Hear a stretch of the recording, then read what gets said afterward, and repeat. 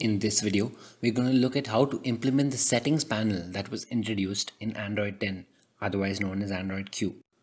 The settings panel helps the user to enable and modify important settings such as the internet, volume and NFC from inside the application as opposed to opening the settings app separately.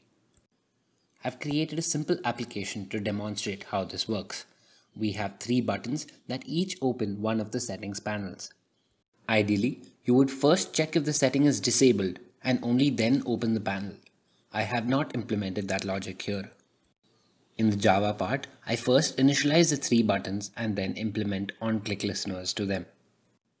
To open the settings panel, all you have to do is pass an intent with the relevant constant to the start activity function. There are four different constants, action NFC, action internet connectivity, action Wi-Fi, and action volume.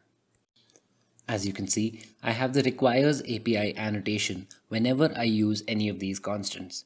I have passed Android Q so the app does not crash on any of the lower versions. We do not have any sort of callback as of now to tell us what the user has selected. Google might introduce this sometime in the future.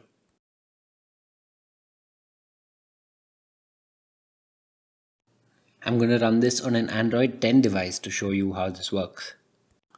As you can see, the relevant settings panel opens up in-app whenever any of the buttons are clicked.